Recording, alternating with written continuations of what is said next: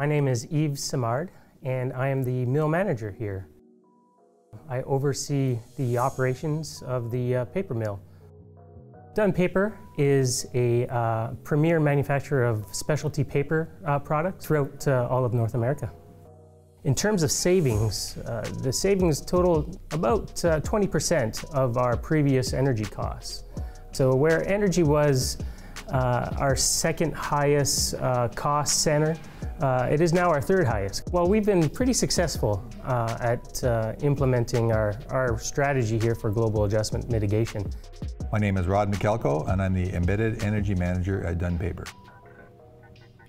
Our experience with Ptrack uh, so far has been good because it allows us to see another data point in our in our previous methodology. Uh, when we first started out um, with Ptrack, we didn't really know what to expect and how to use the tool properly.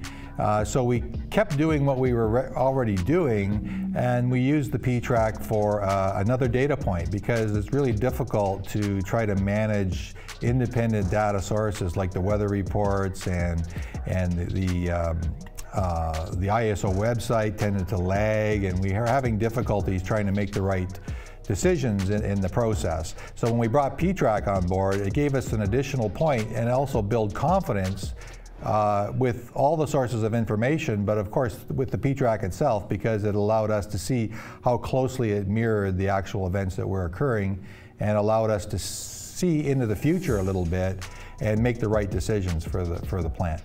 Our, our savings have been uh, considerable um, because obviously we are, we are a class one customer and we are uh, drawing a lot of power from the grid. So when we take advantage of this, uh, there's uh, probably at least 20% of our electrical bill can be saved by hitting all top five peaks.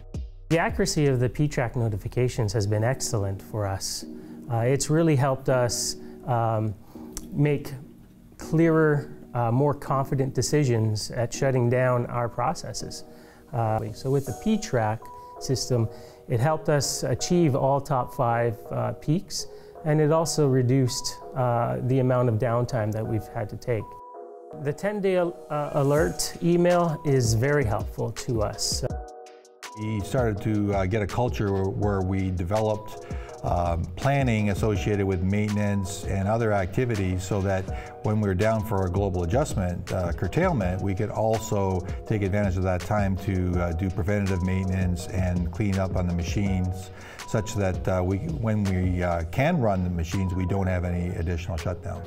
Confidence that's in those notifications that tells us that whether or not, yes, there is going to be a, a, a global adjustment event, um, it, we really feel uh, better about the decision to, uh, to, curtail our production lines. The accuracy of the Ptrack has proven out in the last year where now we have all five uh, peaks uh, to be a very, very, very big help to our, uh, to our operation.